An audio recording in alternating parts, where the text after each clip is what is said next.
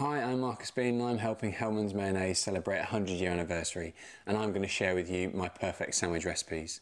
As a family we spend time in Portugal and this is a real good holiday inspired sandwich. Okay, so let's get started with our charred red pepper. Pop it on an open flame. Just going to take a little slice of our sourdough and get that toasted off straight away.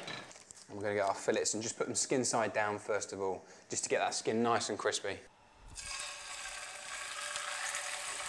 I'm going to get my courgette and just do some little courgette ribbons. Bread's done. Bring that back over to there. And I'm just going to get a tiny little bit of oil on here. And then we're going to get these into the pan and just char them so get a nice charred flavour on there. And that mackerel's done now, so I'm just going to bring that over. Pop that on the side of the board. And you see all that lovely black colour, which is exactly what we want on here, all that char charring of flavour. So I'm going to take that off and just put that in a bowl with some cling film.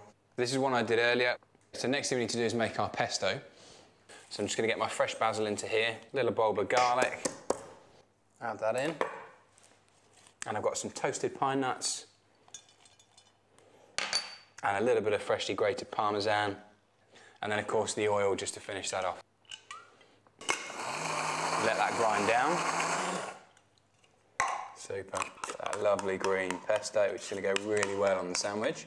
So, to make our pesto mayonnaise, grab our Hellmann's, a couple of dollops, and then of course our fresh pesto, which we've just made. So the great thing about making a pesto mayonnaise is pesto is obviously oil based, so it has a lot of oil in it, but there's also a lot of flavour in. By adding that uh, creaminess from the mayonnaise, it just brings it all together and it works really well with the sandwich.